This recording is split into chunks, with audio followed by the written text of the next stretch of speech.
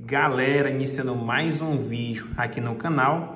Dessa vez quero mostrar como você remover, desativar os botões virtuais e ativar os gestos aqui na tela do seu Moto One Vision.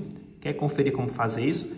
Então vamos partir para mais um vídeo aqui no canal. Basta você acessar as configurações do seu dispositivo.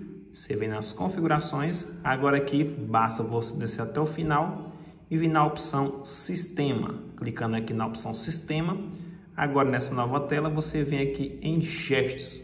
Você dá um clique e aí nessa tela você vem em Navegação no Sistema, basta você clicar.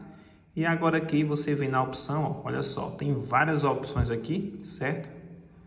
Tem quatro opções aqui de botões, mas a que queremos é navegação por gestos, que é essa aqui, ó, certo? Basta você marcar ela e pronto, até mostro exemplo lá em cima como está utilizando, certo? Caso você não entenda, eu vou até mostrar um pequeno breve tutorial como está mexendo. Ó. Enfim, galera, ativou navegação por gestos. Aqui tem configurações, ó. Eu vou clicar, caso você queira alterar aqui as bordas mais para a esquerda, mais para a direita, você pode até, ó, certo? Ó. Tem para alterar aqui, mas eu não vou alterar, certo? Vou só voltar aqui e já está funcionando, pessoal. Para o lado, ó, você puxando, é voltar, tanto por um pelo outro, ó, ele volta.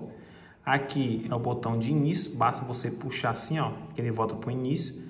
E você puxando para cima e segurando, é os recentes, ok? Beleza? Então é isso, galera, o vídeo de hoje. Espero que vocês tenham gostado. Deixa o gostei aqui embaixo e até a próxima. Tchau, tchau.